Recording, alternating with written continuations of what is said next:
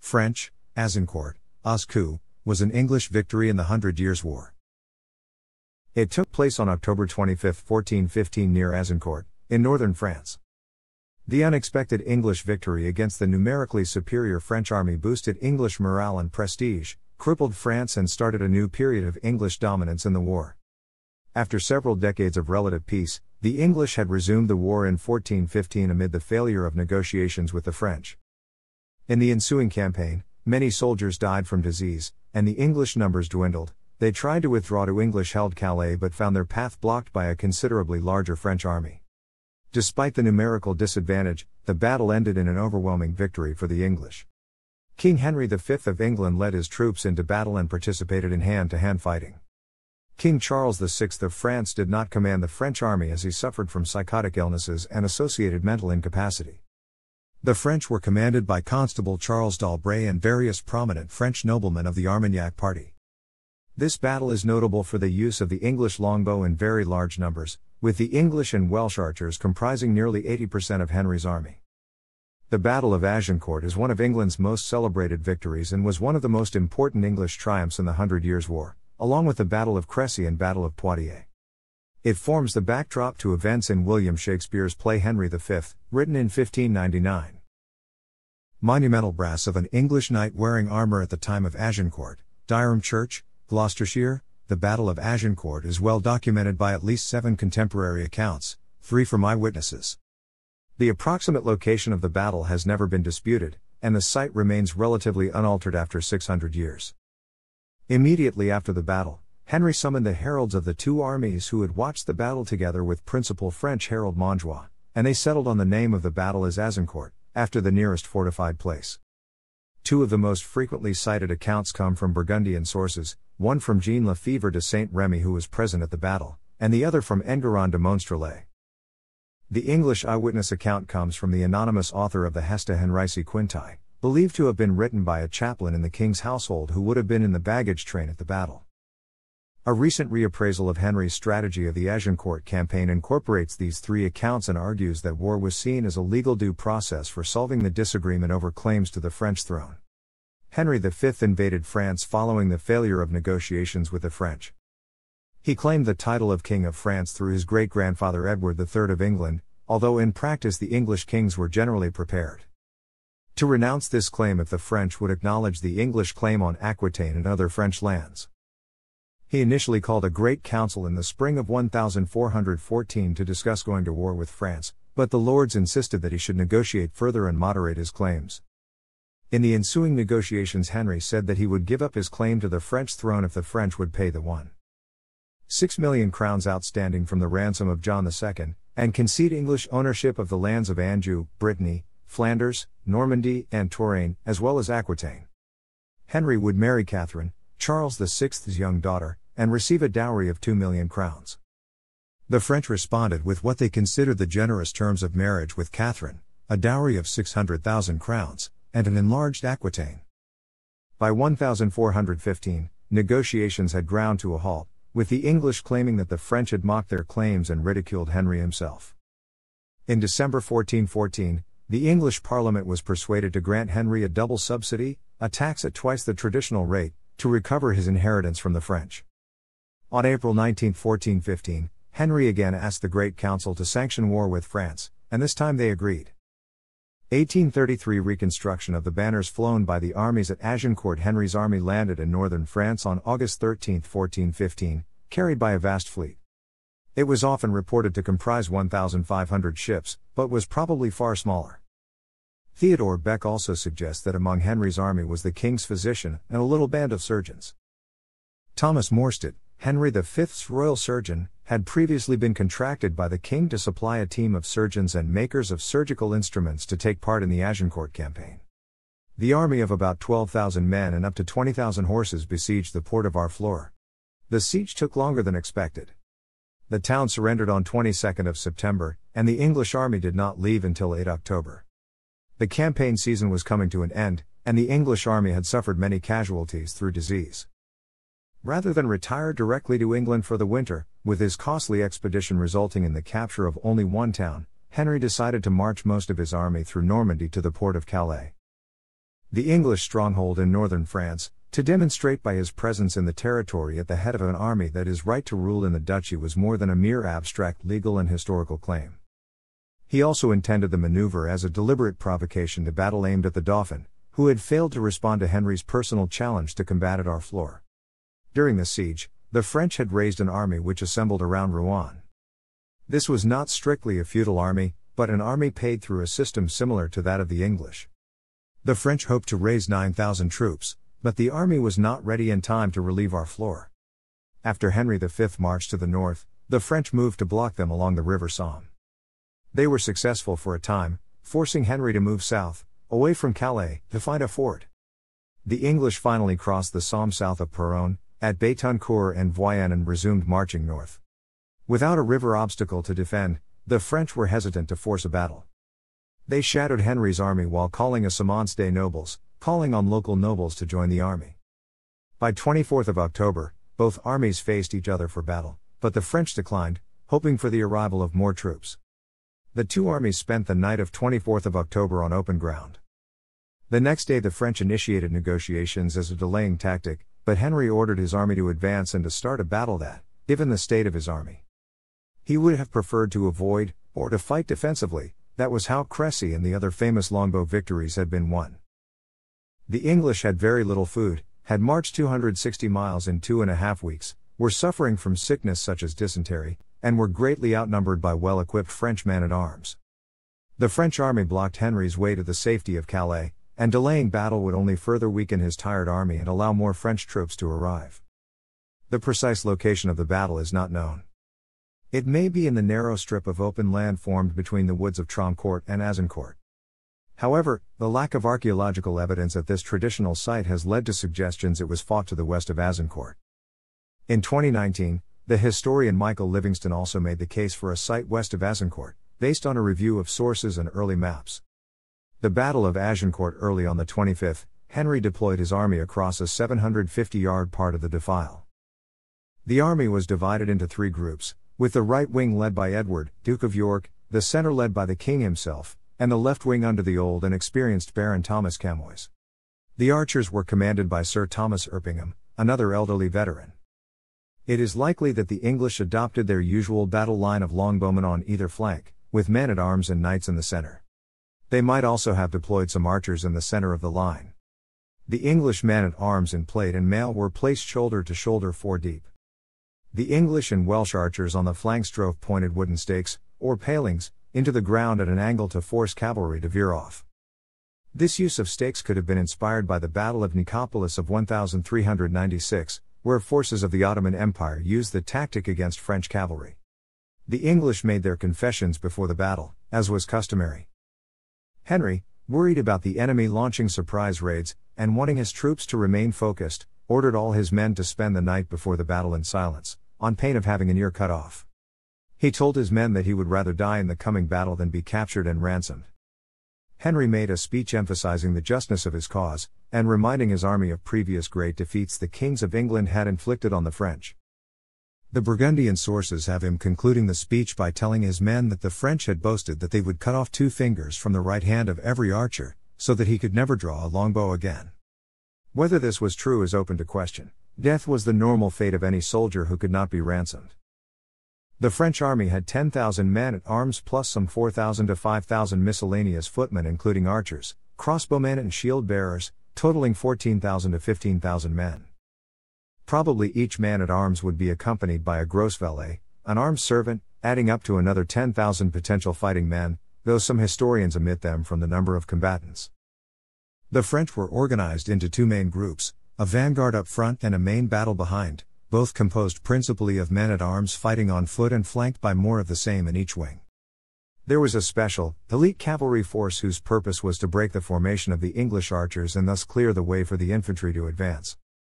A second, smaller mounted force was to attack the rear of the English army, along with its baggage and servants. Many lords and gentlemen demanded, and got, places in the front lines where they would have a higher chance to acquire glory and valuable ransoms, this resulted in the bulk of the men at arms being massed in the front lines and the other troops. For which there was no remaining space, to be placed behind. Although it had been planned for the archers and crossbowmen to be placed with the infantry wings, they were now regarded as unnecessary and placed behind them instead.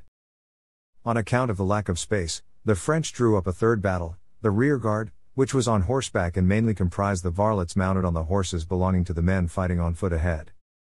The French vanguard and main battle numbered respectively 4,800 and 3,000 men at arms. Both lines were arrayed in tight, dense formations of about 16 ranks each, and were positioned a bowshot length from each other. Albret, Boucicaut, and almost all the leading noblemen were assigned stations in the vanguard. The Dukes of Alençon and Bar led the main battle. A further 600 dismounted men at arms stood in each wing, with the left under the Count of Vendôme and the right under the Count of Richemont.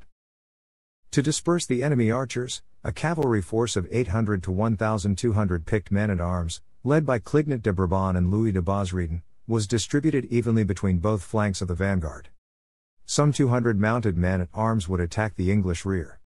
The French apparently had no clear plan for deploying the rest of the army. The rear guard, leaderless, would serve as a dumping ground for the surplus troops. The field of battle was arguably the most significant factor in deciding the outcome. The recently plowed land hemmed in by dense woodland favored the English, both because of its narrowness, and because of the thick mud through which the French knights had to walk.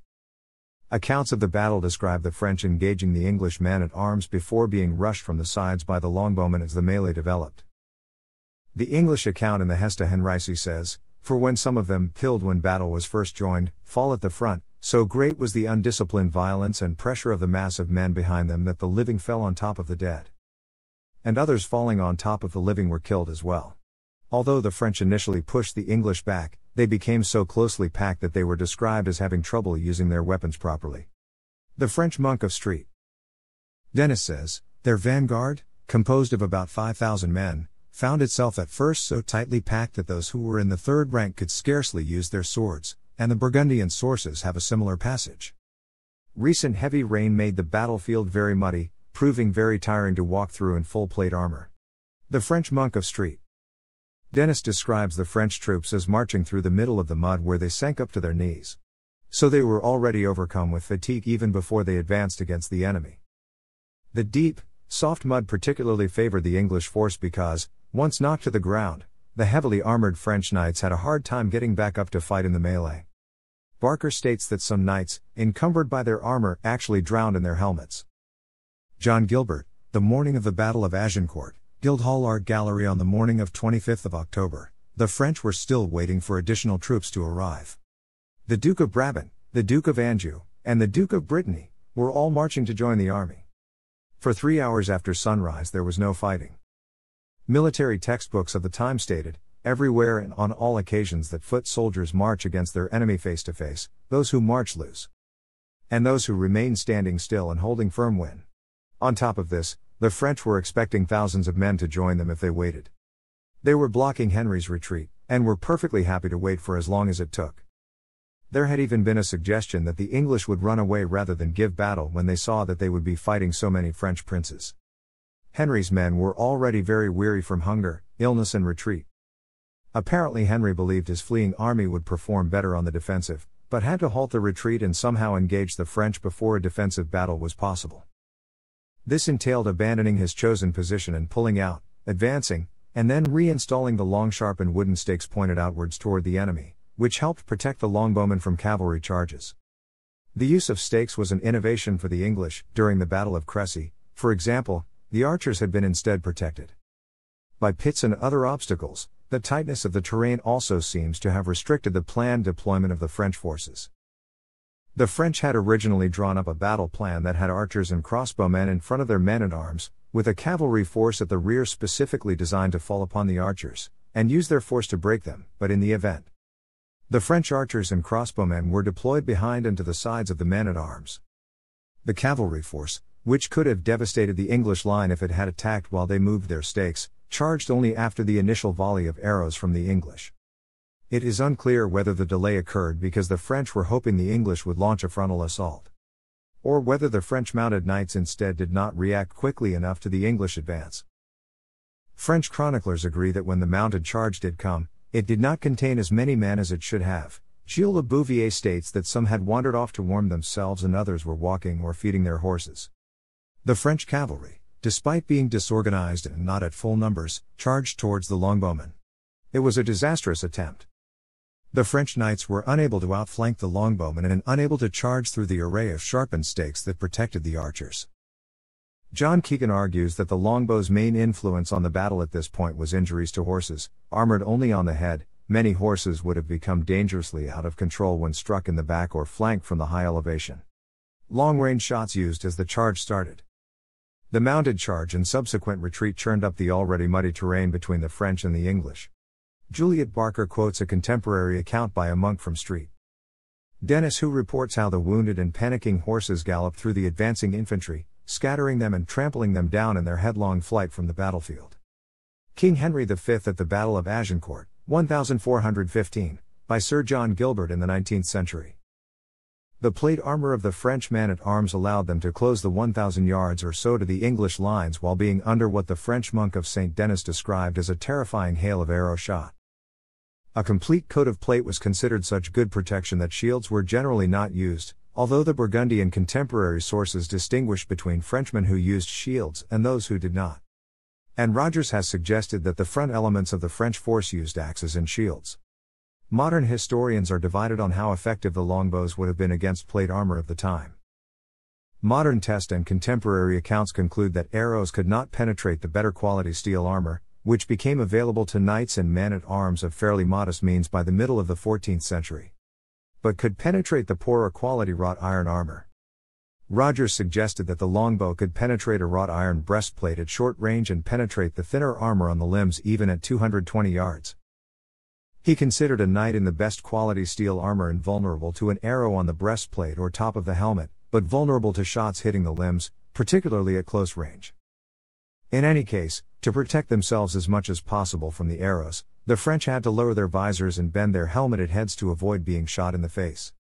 As the eye and air holes in their helmets were among the weakest points in the armor. This head lowered position restricted their breathing and their vision. Then they had to walk a few hundred yards through thick mud and a press of comrades while wearing armor weighing 50 to 60 pounds, gathering sticky clay all the way. Increasingly, they had to walk around or over fallen comrades. Miniature from Vigiles du Roi Charles VII. The Battle of Azincourt 1415. The surviving French men at arms reached the front of the English line and pushed it back, with the longbowmen on the flanks continuing to shoot at point blank range. When the archers ran out of arrows, they dropped their bows and, using hatchets, swords, and the mallets they had used to drive their stakes in, attacked the now disordered, fatigued, and wounded French men at arms massed in front of them. The French could not cope with the thousands of lightly armored longbowmen assailants combined with the English men at arms. The impact of thousands of arrows, combined with the slog in heavy armor through the mud, the heat and difficulty breathing in plate armor with the visor down, and the crush of their numbers, meant the French men at arms could scarcely lift their weapons when they finally engaged the English line. The exhausted French men at arms were unable to get up after being knocked to the ground by the English. As the melee developed, the French second line also joined the attack, but they too were swallowed up, with the narrow terrain meaning the extra numbers could not be used effectively. Rogers suggested that the French at the back of their deep formation would have been attempting to literally add their weight to the advance, without realizing that they were hindering the ability of those at the front to maneuver and fight by pushing them into the English formation of lance points. After the initial wave, the French would have had to fight over and on the bodies of those who had fallen before them. In such a press of thousands of men, Rogers suggested that many could have suffocated in their armor, as was described by several sources, and which was also known to have happened in other battles. The French men at arms were taken prisoner or killed in the thousands. The fighting lasted about three hours, but eventually the leaders of the second line were killed or captured, as those of the first line had been. The English Gesta Henrici described three great heaps of the slain around the three main English standards. According to contemporary English accounts, Henry fought hand to hand. Upon hearing that his youngest brother Humphrey, Duke of Gloucester, had been wounded in the groin, Henry took his household guard and stood over his brother, in the front rank of the fighting, until Humphrey could be dragged to safety. The king received an axe blow to the head, which knocked off a piece of the crown that formed part of his helmet. 1915 depiction of Henry V at the Battle of Agincourt. The king wears on this surcoat the royal arms of England, quartered with the fleur de lis of France as a symbol of his claim to the throne of France. The only French success was an attack on the lightly protected English baggage train, with Isambard d'Azincourt seizing some of Henry's personal treasures, including a crown. Whether this was part of a deliberate French plan or act of local brigandage is unclear from the sources. Certainly, d'Azincourt was a local knight, but he might have been chosen to lead the attack because of his local knowledge and the lack of availability of a more senior soldier. In some accounts, the attack happened towards the end of the battle, and led the English to think they were being attacked from the rear. Barker, following the Gesta Henrici, believed to have been written by an English chaplain who was actually in the baggage train, concluded that the attack happened at the start of the battle. Regardless of when the baggage assault happened, at some point after the initial English victory, Henry became alarmed that the French were regrouping for another attack. The Gesta Henrici places this after the English had overcome the onslaught of the French men at arms and the weary English troops were eyeing the French rearguard. Lefevre and Wavrin similarly say that it was signs of the French rearguard regrouping and marching forward in battle order which made the English think they were still in danger. A slaughter of the French prisoners ensued.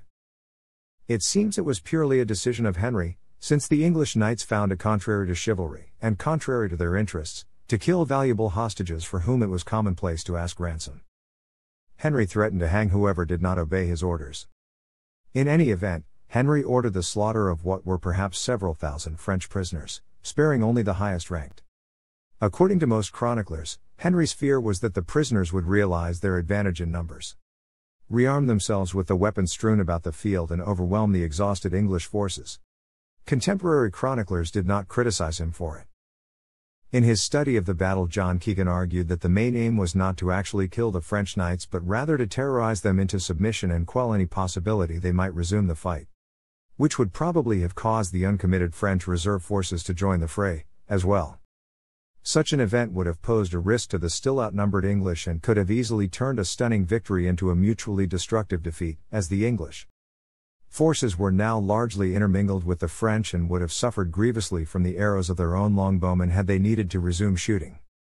Keegan also speculated that due to the relatively low number of archers actually involved in killing the French knights, together with the refusal of the English knights to assist in a duty they saw as distastefully unchivalrous, and combined with the sheer difficulty of killing such a large number of prisoners in such a short space of time. The actual number of French prisoners put to death may not have been substantial before the French reserves fled the field and Henry rescinded the order. The French had suffered a catastrophic defeat. In all, around 6,000 of their fighting men lay dead on the ground. The list of casualties, one historian has noted, read like a roll call of the military and political leaders of the past generation. Among them were 90 to 120 great lords and bannerets killed, including three dukes, nine counts, and one viscount, also an archbishop. Of the great royal office holders, France lost its constable, an admiral, the master of crossbowmen, master of the royal household, and prevost of the marshals. According to the heralds, 3,069 knights and squires were killed, while at least 2,600 more corpses were found without coats of arms to identify them. Entire noble families were wiped out in the male line, and in some regions an entire generation of landed nobility was annihilated. The bailiffs of nine major northern towns were killed, often along with their sons, relatives, and supporters. In the words of Juliet Barker, the battle cut a great swath through the natural leaders of French society in Artois, Ponthieu, Normandy, Picardy. Estimates of the number of prisoners vary between 700 and 2. 200, amongst them the Dukes of Orléans and Bourbon, the Counts of EU, Vendôme, Richemont, and Harcourt, and Marshal Jean Lemaingre. While numerous English sources give the English casualties in double figures, record evidence identifies at least 112 Englishmen killed in the fighting, while Monstrelet reported 600 English dead. These included the Duke of York, the young Earl of Suffolk, and the Welsh Esquire David Gam. Jean de Wavrin, a knight on the French side, wrote that English fatalities were 1,600 men of all ranks. Although the victory had been militarily decisive, its impact was complex. It did not lead to further English conquests immediately as Henry's priority was to return to England, which he did on 16 November, to be received in triumph in London on the 23rd. Henry returned a conquering hero, seen as blessed by God in the eyes of his subjects and European powers outside France. It established the legitimacy of the Lancastrian monarchy and the future campaigns of Henry to pursue his rights and privileges in France. Other benefits to the English were longer term. Very quickly after the battle, the fragile truce between the Armagnac and Burgundian factions broke down. The brunt of the battle had fallen on the Armagnacs, and it was they who suffered the majority of senior casualties and carried the blame for the defeat. The Burgundians seized on the opportunity and within 10 days of the battle had mustered their armies and marched on Paris. This lack of unity in France allowed Henry 18 months to prepare militarily and politically for a renewed campaign. When that campaign took place, it was made easier by the damage done to the political and military structures of Normandy by the battle. Most primary sources which describe the battle have English outnumbered by several times.